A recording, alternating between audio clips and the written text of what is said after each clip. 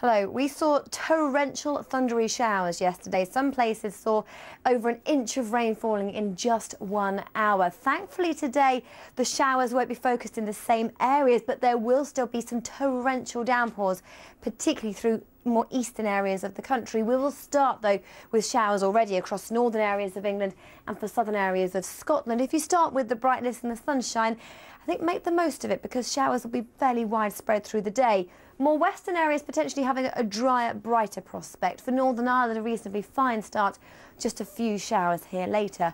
The far north of Scotland getting away with a fine start and actually staying largely dry through the course of the day. But for eastern and particularly southern areas of Scotland, the showers will be there from the word go. They'll turn heavier, more persistent as we head through the day, and this brings the risk of some localised flooding.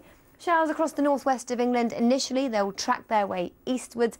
East Anglia and the southeast of England, again, a reasonably fine, sunny start, but I wouldn't rule out the risk of some showers developing through the day.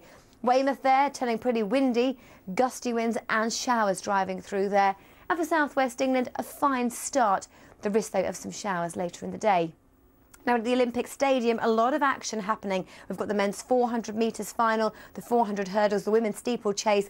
Throughout the day, there's always a risk of showers, more especially late morning and early afternoon. That's because the heat will gather, the shower clouds will build, transferring their way eastwards. Through central and eastern areas of England, heavy showers, brighter conditions in the west, thankfully.